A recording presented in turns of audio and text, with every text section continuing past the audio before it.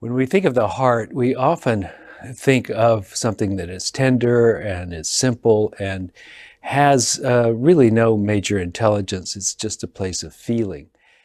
It turns out that if you uh, followed the signals uh, from the brain to the heart or the heart to the brain, the heart is sending way more signals to the brain than the brain is to the heart. And the heart also, when uh, doing studies of uh, prediction, can tell in advance what's coming much better than the brain can. The reason for all of this is that the heart is primary. The heart is primary, and the brain, which we have made into a god in our society, is secondary. So we listen to the heart and we learn from the heart. It is the heart that can make us wise. This is true spirituality. Coming to your heart, being in your heart, and knowing what's happening inside you because of the feelings and the experiences you're having directly in your own heart. This he said, This is the true spirituality. And it links up very well with what is uh, what HeartMath has been saying. It's essentially that when you delve into your heart, you you find deeper wisdom, much more wisdom in the heart than in the brain. When you pay attention to this heart, and you bring your mind to a sense of calm because the heart has now become the dominant expressor and the, what, what tells the mind to be agitated or, or calm is really the heart. So you have the heart telling the mind to quiet.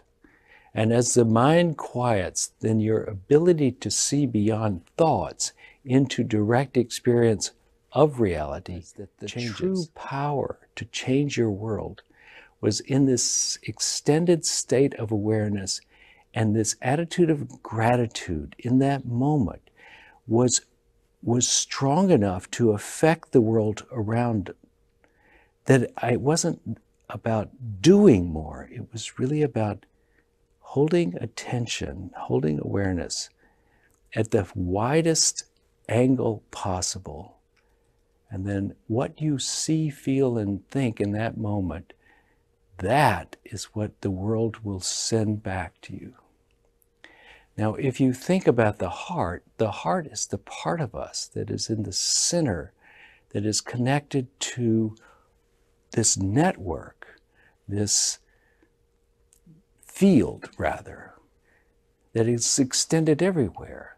And it is a node of knowing and experiencing and relating and sending and receiving information. This node, which is the heart, that has been with us since we were born, or conceived really, this heart is what is sends its signal out because it is not identified just with you, but is identified with everything. This heart, which has not taken on a, such a strong egoic state, this heart connects out as far as you can see and is the messenger both from the universe and to the universe of what needs to happen.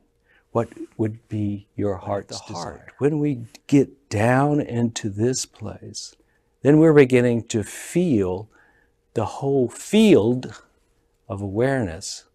And in that whole field of awareness, that's where true creativity, where miracles happen, where connectivity happens, where you get information that you don't know where you got it from.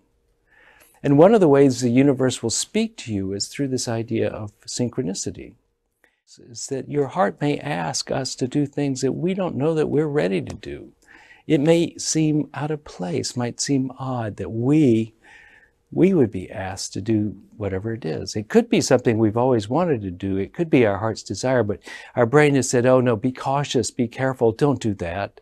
You know, people will think you're weird or you might lose money or or it's just frightening, or I don't know how to do that.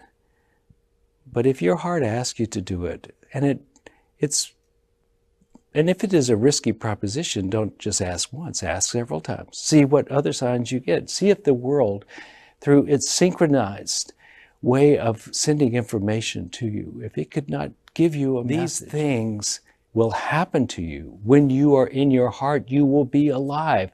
And this idea that you can go to your heart as a sanctuary away from the troubles of the world is probably mistaken.